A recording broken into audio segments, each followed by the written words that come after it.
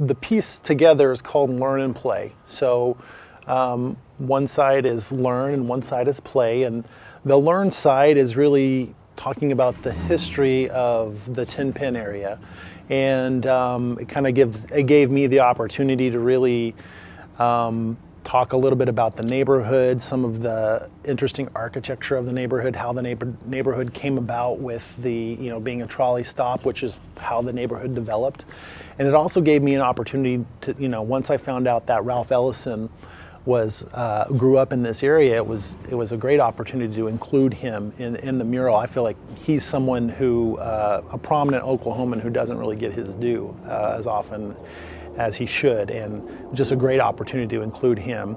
So that kind of just talks a little bit about the history, and then uh, the other side is play, which is really focusing more on McKinley Park and, and what a park is. It's just a, it's a fun pers- a fun place to play, and I really wanted to showcase, you know, a timeless activity of kids outside running and having fun, and um, and I just, you know, flying kites seems to be this timeless thing that's the same as it is today as it was 100 years ago, and, uh, and I'm sure 100 years from now it's going to be the same as well.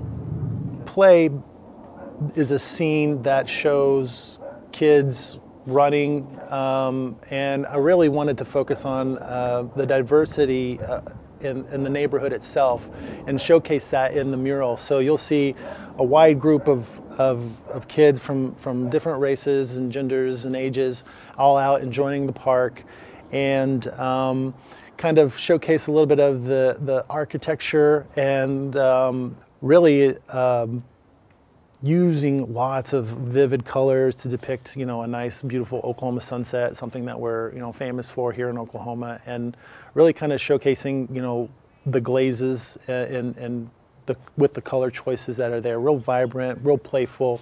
Again, all just kind of coming together to um, have this really nice result with the mosaic itself. With Learn, stylistically, we wanted to match the play side. So since we were doing an actual mosaic on the play side, Learn, we wanted to have the look of a mosaic.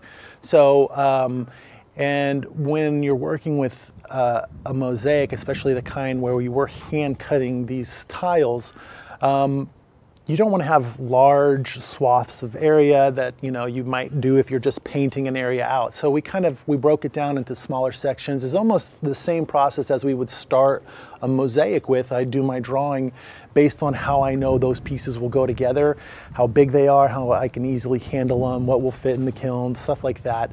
Um, so based off that, we just created that drawing um, that would be basically a template for a mosaic, but instead of moving into clay, we just painted it piece by piece on the wall.